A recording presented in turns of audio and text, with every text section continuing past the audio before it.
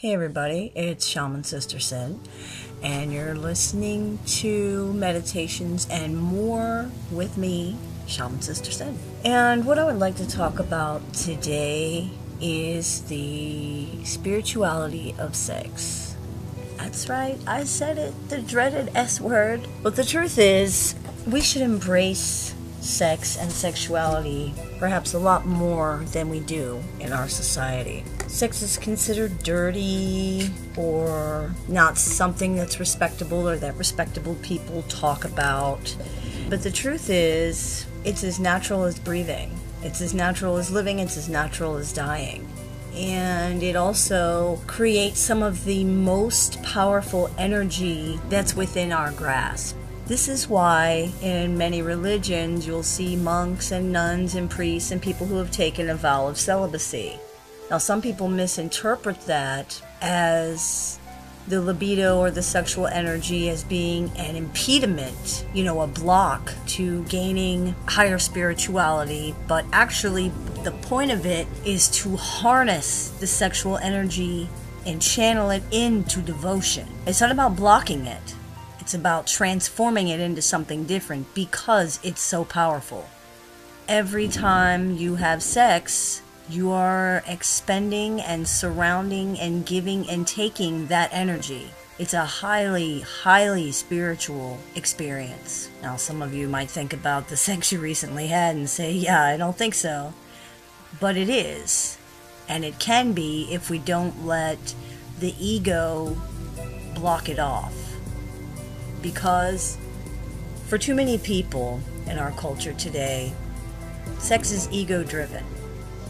It's not driven by love, it's not driven by wanting to exchange energy and expand consciousness, it's just driven by wanting an orgasm.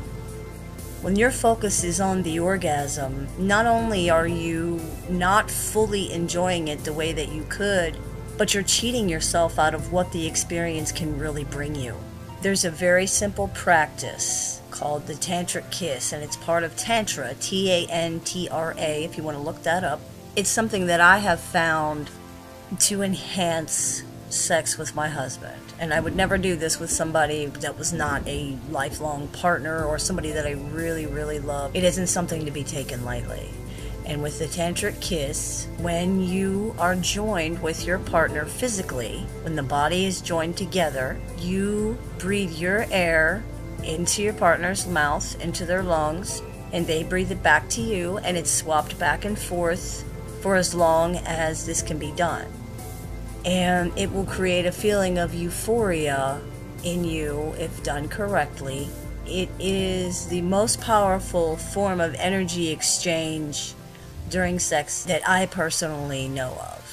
The ancient wisdom states that it transfers the soul from one body to another. This is the transfer of energy. This is the enhanced spirituality that is the point of sex. Sex isn't just for making babies, sex is the ultimate unification of male and female. It's the ultimate blending and exchange of energies, of spirit, of soul and it should always be treated as that. It should always be treated as one of the most spiritual experiences that a person can have because it is. It involves the entire mind, it involves the entire body, it involves the spirit, the soul.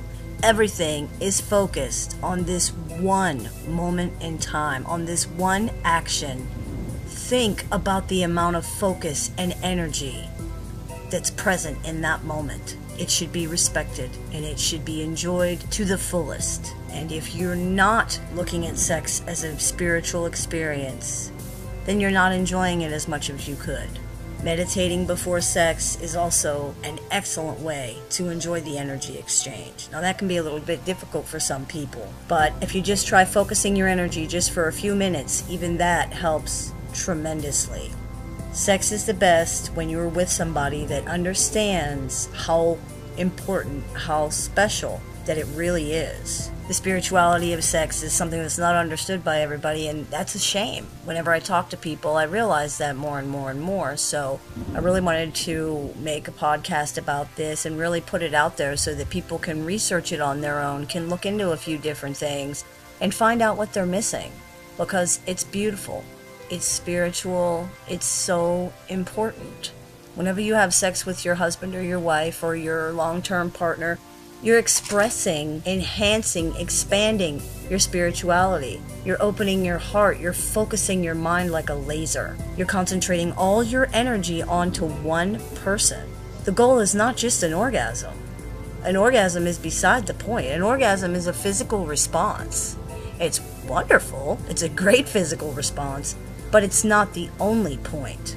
There are some witchcraft and magic practices which advise getting to the point of orgasm but not allowing the orgasm so that the energy is stored and held onto and can be released into a magical working.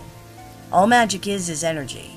So, and we are made up of energy, we're surrounded by energy, everything we do. That's what they say the power of positive thinking. You're creating the energy and making it work for you. You can do the same thing in sex. It's even easier in sex because there's two people. There's two sources of energy. And it's huge energy. It's the energy that drives nearly everything on the planet, if you think about it. Sex is the reason for everything. It's the reason you exist. It's the reason empires have fallen. It's the reason families are created. It is the reason the driving energy behind so much. And you can harness that energy do some research, start meditating about it. You can do it. Now, I'm not one to tell people how to do things because I think that it's better if people really find out for themselves. If they do it on their own, you'll learn so much more than just from me telling you. If you read about it, if you research it, if you learn it on your own, if you practice it, meditate and focus before sex, maybe even during sex. Now, you might think you wouldn't be able to do that, but it's really all just a question of concentration. Concentrate on opening up to your partner, on feeling what your partner is trying to give you, on receiving it, on giving back, and not just in a physical sense, in every sense. What are they giving you? What are you receiving? What are you giving back? What are they receiving? Energy. That is the key. Energy is the key. I'm Shaman Sister Sindel, and this has been another installment of Meditations and More podcast. Thanks for listening. May the Great Spirit bless you, and have a wonderful day.